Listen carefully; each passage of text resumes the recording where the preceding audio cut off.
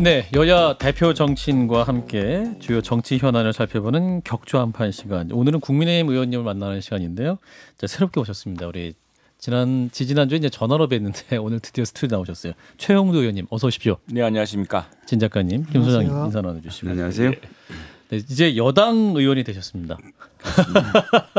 2주차 되셨는데 네. 여당 의원으로서 소회랄까요? 소감이 어떠신지? 근데 이제 여당이라는 게 과거 군의주의 시대는 뭐 어떤 힘이 있었는지 모르겠지만 예. 지금 국회가 월 아주 압도적인 그런 상황이기 때문에 예. 오히려 여전히 소수당의 지위가 아하. 뭐 아무것도 할 수 있는 게 없습니다. 국회 인사청문회도 예. 과거에는 저희들이 소수 야당이니까 음. 저희들이 청문 보고서 채택을 거부를 해도 음. 민주당이 단독으로 채택할 수 있었습니다. 과반수가 됐기 때문에. 예.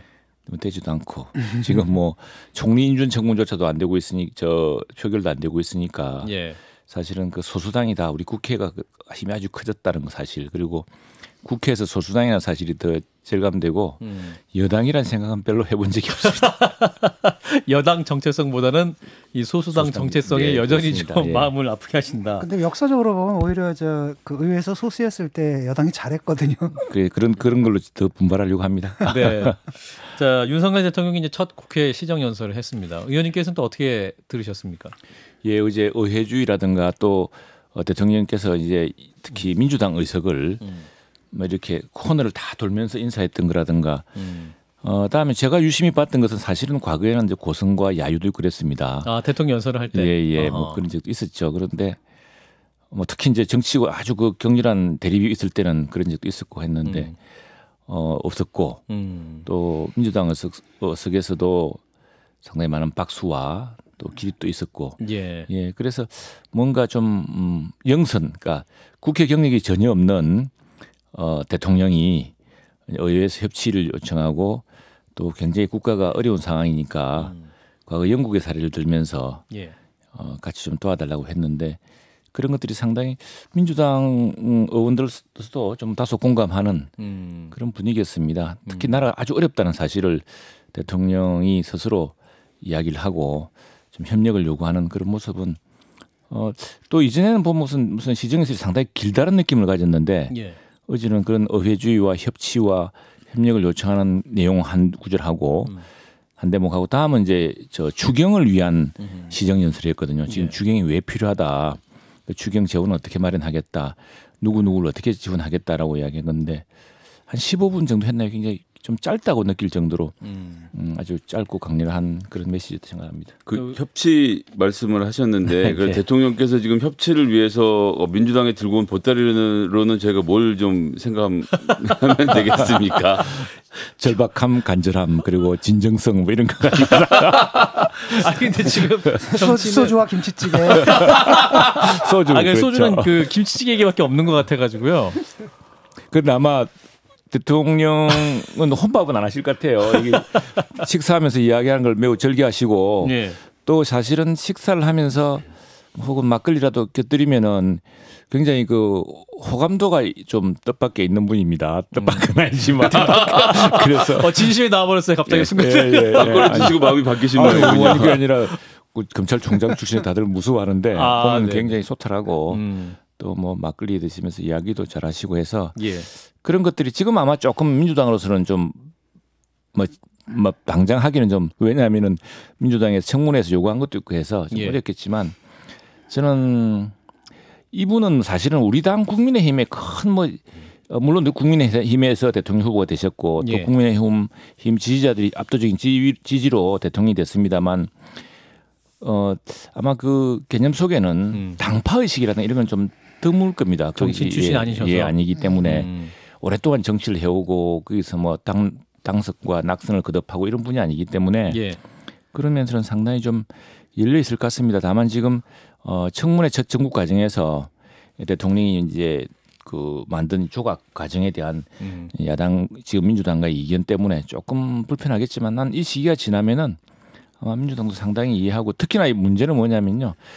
대통령으로서는 지금 100 우리가 110석 정도밖에 안 됩니다. 안 예. 되기 때문에 100 67석 그리고 뭐좀 합치면 한 178석 70, 80석 되는 민주당과 범민주당의 어, 협조가 없으면 이런 음. 정치 상황이 없었습니다. 협조가 예. 없이는 한 발짝도 국정을 움직일 수가 없습니다. 그렇기 때문에 이거는 대통령의 진정성과 뭐 이걸 떠나서 음. 그걸 하지 않으면 안 된다는 절박한 인식 그건 분명히 있는 것 같습니다. 근데 인식이 있으신데 지금 한동훈 장관까지 임명을 하셔서 남은 카드가 음. 별로. 아, 집안에 취임식이 진행됐습니다. 민주당이 좀 양해를 해주죠.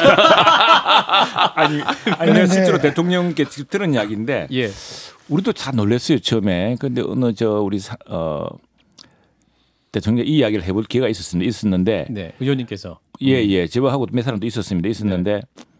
어 한동훈 이 장관 오늘 장관이 됐죠. 예. 이분은 사실 이분은 역, 역대 법무부 장관이랑 다릅니다. 우선 검찰 수사 지휘권을 없애겠다고 약속했기 때문에 예. 수사지휘권을 발동할 수가 없는 상황이고 예. 그다음에 검찰의 예산권을 돌려주겠다고 했기 때문에 이제 검찰을 예산으로 가지고 뭘 통제할 수가 없습니다. 음. 근데 검찰의 예산권을 돌려준다는 것은 뭐냐면은 검찰총장이 이제 국회에 직접적인 통제를 받게 됩니다. 과거는 음.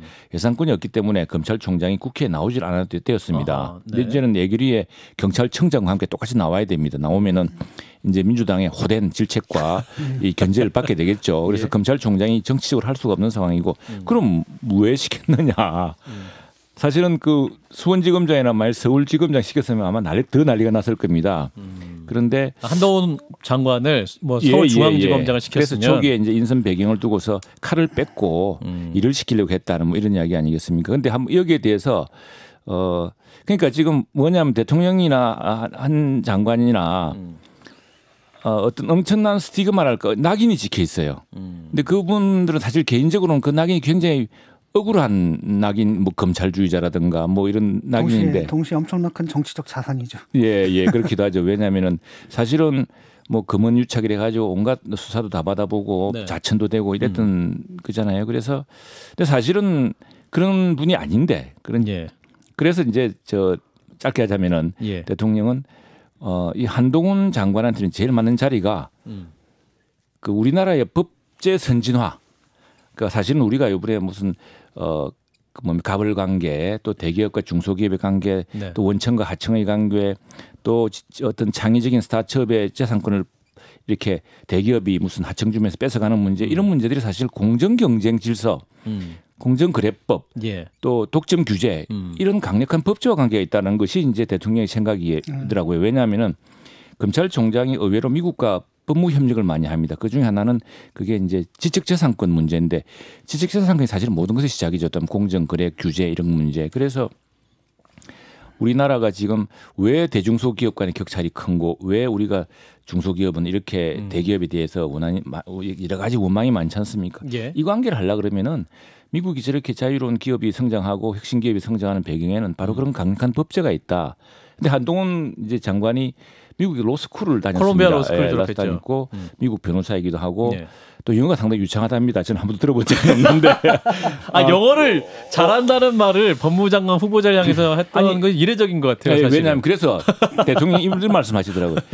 저, 저 장관은 만약 한 장관 후보자가 장관이 된다면은 예. 아마 절반 정도를 외국에서 이런 선진 법제를 협의하고 어, 도입하기 위한 노력을 할 것이다. 그럼 뭐 정말 맞나요? 맞습니다. 저는, 장관이? 저는 그 말을 믿습니다. 왜냐하면 아, 왜 법무부 장관이 사실은 그 어떤 통로로서 수사지휘의 통로로서 건 바람직하지 않고요. 법무부 장관이 하는 일이 많습니다. 우선 법제, 선진법제를 만드는 거, 또 이민, 이민법, 또 또 하나는 뭐냐면 아, 국적법 문제죠. 예. 또 하나 요즘은 국 가 소송 대응도 해야 됩니다. 예. 우리나라를 대표해서. 근데 그런 거 하실 분이 한동훈 후보자 한 명밖에 없냐 이런 질문을 할 대통령이 때는 대통령이 아는 분 중에서는 아, 의원님이 어, 그 부지불식간에 그 인사 원칙을 폭로하셨네요. 아는 사람들 중에 아니 대통령이 아는 분 중에 인사는 그런 거 아닙니까?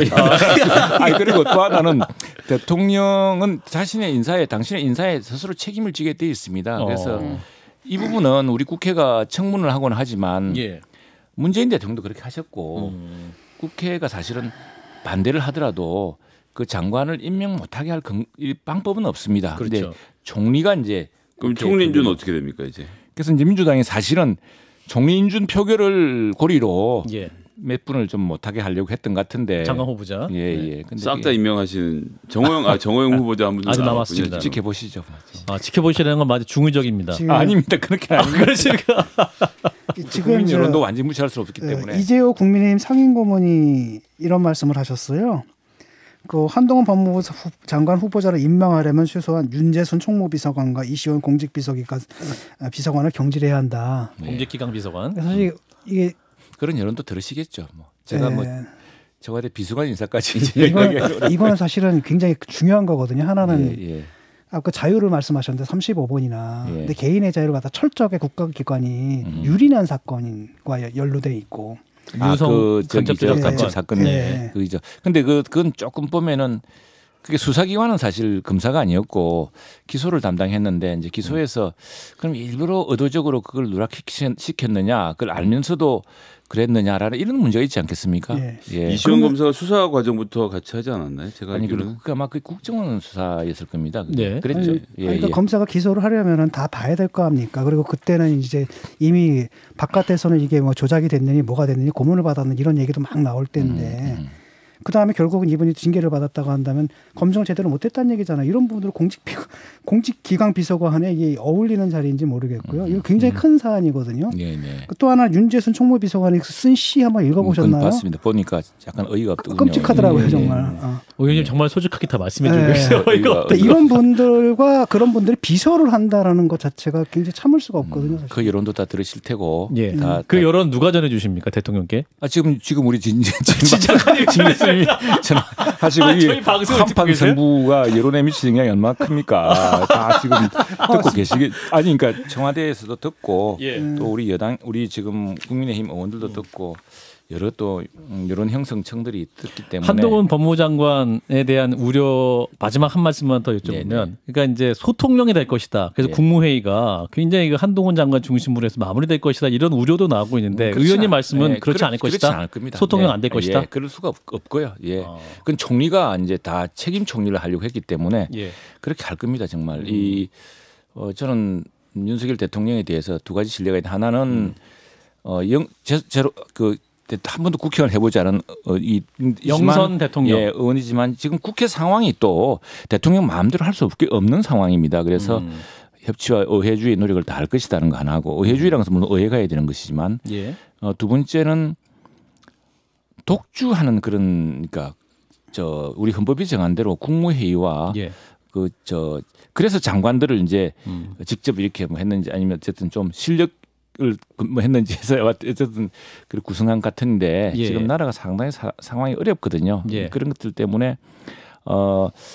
뭘 모르면서 다 결정하고 선입견으로 정하고 그러지는 않을 것이다. 음. 다 장관, 책임 장관, 책임 총리를 통해서 이루어 나갈 것이다. 그 점은 어, 제가 지금까지 만나본 바로는 확신합니다. 음. 또 그것이 우리 대, 우리나라 대통령에게 필요한 가장 중요한 어떤 미덕이었어야 되고 원칙이었어야 되기도 하고요. 예.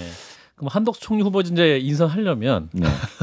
민주당은 뭔가 받는 게 있어야 될 것 같은데 그 대통령이나 예. 국민의힘에서는 지금 어떤 물 밑에서라도 뭔가 대화를 하셔야 될 것 같은데 뭐를 참줄수 우리가 있습니까? 다수당에서 말 그렇게 아무렇게 지금 뭐 마음을 마음대로 말을 할 수는 없지만 그런 요구를 해서는 안 되죠. 아, 그렇지.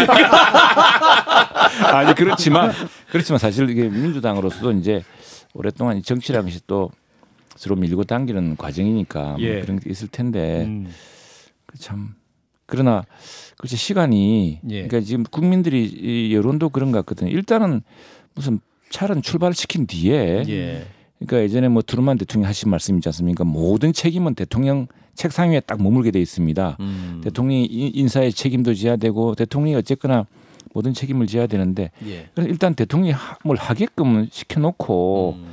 해줘야 되는 거야 싶고 다음에 지금 약간 저는 민주당이 스스로 힘을 조금 음. 어, 과소평가하시는 것 같은데 과소. 예 아. 민주당은 우리 국회가 점차 힘이 커지고 있고 힘이 실제로 큽니다. 그리고 또 167석, 170석 가까운 민주당의 힘은 음. 뭐 개헌 말고는 다 할 수 있습니다. 사실은 음. 예, 다 할 수 있고 또 종종 우리가 이제 걱정하는 바는 과거에 우리가 다수당일 때는 국회 선진화법 우리가 만들었습니다. 예. 우리 스스로 불리한 일을 자초했어요 그때. 근데 지금은 그런 국회 선진화법의 좋은 취지를 약간 좀 편, 조금 뭐라면 변칙적으로 활용하고 있습니다. 활용하고 있고 또 그 당시에는 우리 법사위도 주고 음. 또 다수당이 뭘 가고 이 당은 뭘 하고 이렇게 했는데 음. 그것도 안 주고 지금 예. 그렇지만 그런 룰을 어겨도 아무 무슨 제재할 방법이 없습니다. 없는데 그런데 제가 강조하고 싶은 것은 이제 현실은 현실이니까 우리는 민주당 저 윤석열 대통령 정부는 민주당을 상대로 열심히 협치의 노력 또 요청을 하고 또 설명을 해야 될 것이고 예. 다만 민주당도 이제 우리나라가 대통령이 그런 시대가 아니다. 음. 예, 대통령 한 사람으로 이렇게 이끌 수 있는 나라가 아닙니다. 이제 예. 그 규모라든가 음. 국회라는 큰 어떤 그 집단 지성이 움직여야 되는데 음. 이제 너무 힘겨루기로 보지 말고 음. 힘겨루기로 치면 민주당이 무조건 이기게 돼 있습니다. 예. 예. 그래서 좀 책임 있게 함께 견제와 균형을 이루면서 이끌어 달라 이런 부탁을 드리고 싶습니다. 경기도지사 선거 얘기로 좀 넘어가세요. 전화는 어떻게 되는 겁니까? 이 뭐 대통령이 당선자 시절이긴 했지만 부적절하다라는 얘기 있었는데 대통령실에서는 아예 부인 지금 부인을 한 상황에 전화 통한 적 없다. 네, 대통령실이 그렇게 이야기한 게 근거가 있겠죠. 대통령실의 말을 믿어야 안 되겠습니까? 왜냐하면 후속에 뭐 계속 부도가 나오고 할 텐데 예, 그런 난처한 상황을 만들지는 않겠죠. 그 의원님도 대변인실에 많이 계셨으니까 그 정도 대변인실에서 입장이 나온 거면 정말 책임 있는 근거 갖고 말했을 것이다. 보통 이제 NCND를 가거나 또는 예. 뭐 그 음. 확인해 봐야겠다든가 음. 여러 가지 대화하는 대, 답변하는 방법이 있습니다. 근데 그 이제 13일에 듣고 사실 예. 저게 제 이론이었습니다. 아니 13일에 그 듣고 16일까지 NCND로 가다가 예. 뒤늦게 부인하신 게 참 이게 뭐가 아, 있으니까 부인한 거 아니야 이런 생각이 들더라고요. 음, 아니 왜냐면은 예. 그건 직접 통화를 했다는데 그 누가 알겠습니까? 당선자 신, 예, 당선자와 직접 통화를 했다니까. 근데 그걸 처음에는 뭐 그걸 저 근데 자꾸 사, 사안이 이게 커지니까 예. 직접 확인한 뒤에 이제 대변인 이야기를 했, 대, 어, 음. 대변인 이야기했죠. 네, 네, 예, 알겠습니다. 음, 그렇군요. 자, 그러면 이제 자연스럽게 지방선거 얘기가 나왔는데 의원님 지금 이제 지방선거 판세 전반적으로 어떻게 판단하고 계십니까? 국힘에게 좀 유일하게 가고 있다. 이 지금 지금 여론조사는 좀 그렇습니다. 바람직한 지방선거 결과에 대해서 네. 이게 어느 조사입니까? 조사해 보면은 국정 안장 이게 바로 대통령 선거 이후에 3개월 뒤에 일어나다 보니까 예. 어, 국정 안정이 좀 중요하다라는 그런 심리가 좀 많다 그래요. 견제 심리보다는. 예. 서울도 그렇고 인천도 그렇고 경기, 음. 강원, 충북, 충남 음. 모두 그렇게 나타나고 있습니다. 이게 예. 어, SBS 여론조사였네요 보니까 예, 예 여론조사 어제 어제자 여론조사를 보면은 네. 그리고 또 대통령의 이제 취임사하고 시정연설 이후에 대통령에 대한 국정 운영에 대한 신뢰도도 조금 높아지고 있습니다. 음. 예 그런 것들이 영향을 미칠 것 같은데 그러나 또 지역으로서는 지금 사실 서울 사람들은 잘 모릅니다. 저도 지역 그저 마산의 국회의원이어서 나는데 정말 지역은 어렵거든요. 음. 아마 인천만 가도 어렵다 그럴 겁니다. 서울하고 경기도 예, 예, 예. 그렇기 때문에 이건 또한 지역을 살리는 문제, 음. 누가 지역을 살리는 적임자인가 문제. 또 그런 과정에서 보통 보면 그래도 여당 그 대통령과 같은 정당의 후보가 지역을 살리는 적임자 아니냐라는 또 이런 민심 심도 있죠. 그러나 음. 그 민주당 후보라 하더라도 굉장히 합리적이고 또 민주당 지사 시장이 된다 그래서 대통령이 그 협력을 거부할 수 있습니까?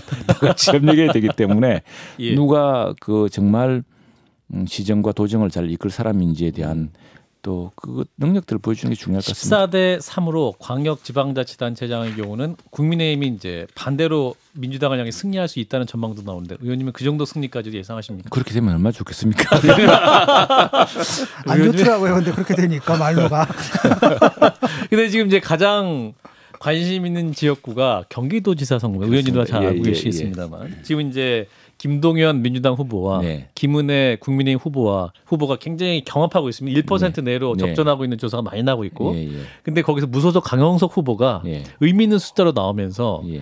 이 강영석 후보와 김은혜 후보의 단일화 얘기가 계속 얘기가 나오는데 일단 이준석 대표는 굉장히 싫어하시는 것 같아요. 의원님은 어떤 의견이세요? 그건 사실은 난 참 부적절하다 봅니다. 그리고 정당의 선거에서 정당의 후보를 정하고 나면은 음. 그걸 그 정당이 아닌 것과 하는 것은 정당의 그 존재 의미 또 정당의 모든 그 경선 과정이나 음. 후보를 결정하는 과정을 그 성들이 사실 부인하는 부인하는 내용입니다. 그러면 아. 앞으로 그저 그 안철수 후보하고도 그렇게는 하지 않았지 않습니까? 윤석열 대통령이 예. 예 그러니까 안철수 후보가 대성적인 있는 판단에 의해서 이제 어 사실상의 단일화가 이루어진 것이지 뭐 예. 그게 그래서 이렇게 어쨌든 큰 정당의 경선을 통해서 음. 어, 후보가 된 저 것과 다음에 지금 그게 이제 방송 토론에 출연하는 날 정도의 그 특거리로 이제 지금 지지율이 나오고 있는데 그 지지율이라는 것도 투표라고 또, 또 실제 그거와 또 다른 것인데 예.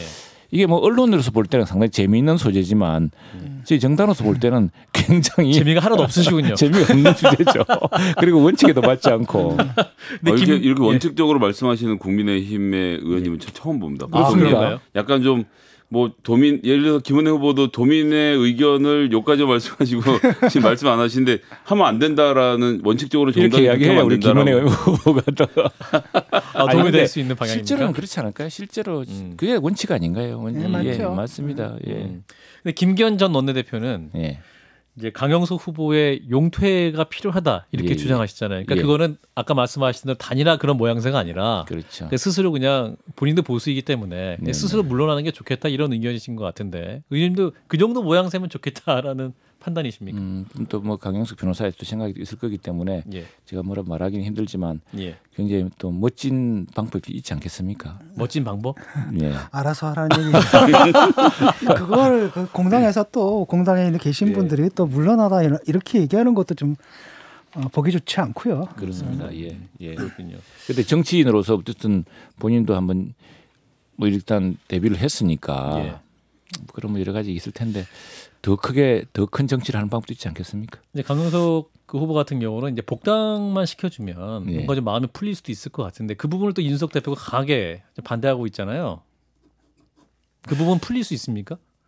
그 이제 우리 당은 당규랑 있어서 무슨 예. 우리가 고무줄처럼 그걸 늘리고 줄이고 그럴 수는 없습니다. 그게 예. 그 과정에서 뭐 여러 가지 이번에 하다못해 그 우리 시의원, 구의원, 군의원 때도 공천에 그리고 그 기준이 다 있는 것이거든요. 예, 예. 예. 그런데 그 독이 지금 뭐 또 그렇게 유명한 분의 복당에 대해서 네. 그걸 어떤 때는 안 된다 그랬다가 어떤 때는 된다 그랬다가 음. 하는 이렇게 고무줄 척도가 아닐 거라 생각합니다. 무슨 기준이 있어서 그럴 것 같은데 그 기준이 음. 만일 해소된다면은 예. 이제 될 테고 뭐그 예. 기준이 여전히 해소되지 않는다면은 조금 어뭐 또 그럴 수 있겠죠. 예. 알겠습니다. 네, 좀 난처하시는 것 같아요. 아, 난처는 제가 잘 모르니까. 이재명 후보 어, 민주당 총괄 선대위원장으로 복귀하셨어요. 예. 그 이번 지방선거에서의 등판 효과는 의원님 어떻게 판단하십니까? 그렇지, 난그 민주당한테 그게 도움이 될 것인지 실제로 음. 그뭐 솔직하게 이제 우리도 또 친한 의원들이 있을 때 이야기를 들어보면 또 민주당 내에도 걱정이 많은 것 같아요. 실제로 음. 좀 말렸다는 이야기도 있습니다. 예, 당 지도부에서 말렸다는 이야기도 있고 예.